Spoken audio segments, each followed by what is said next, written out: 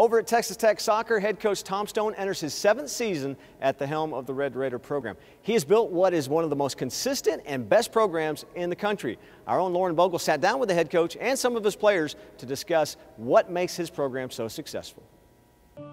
In Lubbock, tradition dictates that Texas Tech football is king. But in the spring of 2007, that unbendable fate began to change. When athletic director Gerald Myers put his faith in a women's soccer coach with little on his resume but a lot on his mind, Tom Stone stepped into the arena of Texas Tech women's soccer, ready to start a tradition of his own winning. They said, okay, based on your resume, you don't have much college experience. I was an assistant coach at Clemson for one season, but you're the guy we're looking for. And so they really went out there in terms of kind of off the beaten path to say, despite your lack of college coaching, we feel like you've got all the tools to start our program over. And I really owe them a lot because a lot of ADs just wouldn't be able to get past the fact that I hadn't spent a lot of time coaching in college. A successful coach and humble person, Stone never takes anything for granted. Not a big golfer, love to hunt. My wife fortunately allows me to go hunt with my dad a couple times a year and take my son. But uh, you know, at this stage of the game, it's Texas Tech and it's the family, and that's it. Stone has done more than just win.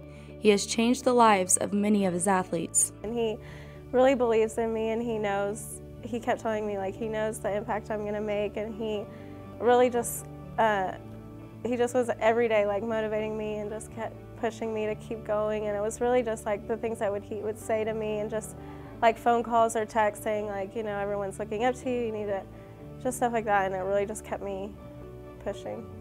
He's just probably one of the most inspiring and best coaches I've ever had. And there's parts of it that are from his experience from coaching, but just that he's a good person is really what makes him such a good coach. And um, you know, he develops personal relationships with his players, um, you know, on and off the field. So he knows you on the field, and I know what to expect from him on the field, and I know what to expect from him off the field. So um, just that communication and knowing each other on and off the field is really important for us. The players just have to be more than an athlete, I think, to coaches if they want to bond with their players. They've got to be, uh, they don't have to be all into their business, but they have to be there for them when they need advice, when they need guidance, when they just want to check in and see how the family is or there's something going on in their life that you've been privy to and you can either help them with or just be supportive of. I think you have to be involved at some level beyond just the coach telling her how to run or how hard to move.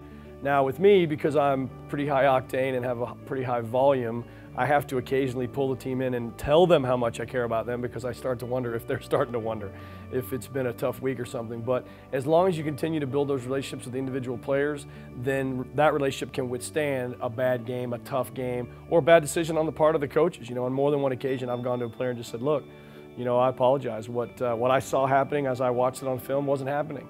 And so, you know, you were in the right and and, uh, you know, I'm sorry I jumped on you for that. He knows how to and when to coach. And that goes back to him making personal relationships with our players. He knows how yelling at someone's going to affect them. And if it's somebody that doesn't strive off of being yelled at, then he's not going to yell at them. But there are times where he knows he has to be hard on us and he's going to be hard on us and that's what makes us better. But, you know, behind the scenes, he's just somebody that likes to have fun with us and we are definitely a team that likes to have fun, so he's the perfect coach for us. Suffering a season ending knee injury last year, Connor Williams will have one more chance to take the field with her teammates and a coach who has touched her heart. He gave me an opportunity that no one else would have given me. And um, just for him to believe in me when no one else would is just, there's nothing else to say but thank you. And I just hope that I made him proud. That's all the time we have this evening. Thanks so much for joining us. We'll see you next time on Inside Texas Tech.